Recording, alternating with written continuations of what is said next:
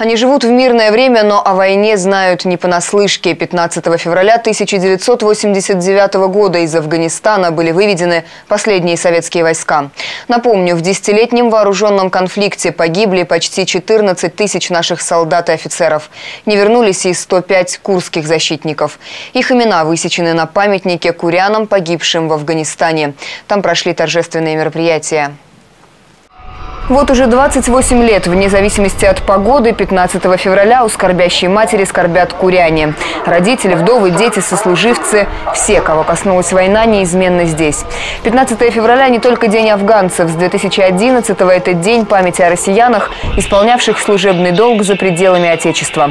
Красные розы и гвоздики на белом снегу – как символ горячих сердец, которые всегда будут помнить тех, кто не вернулся домой. Любая война, будь она отечественная, будь она э, локальная, это все равно война. Кружился тюльпан, шли грузы 200. Многие до сих пор не понимают, что мы там делаем и что мы там делали. Мы выполняли интернациональный долг. Солдат, офицер выполнял приказ своей Родины. После возложения цветов боевые друзья встретились на полевой кухне. Воспоминания о службе в прикуску с солдатской кашей и горячим чаем – добрая традиция.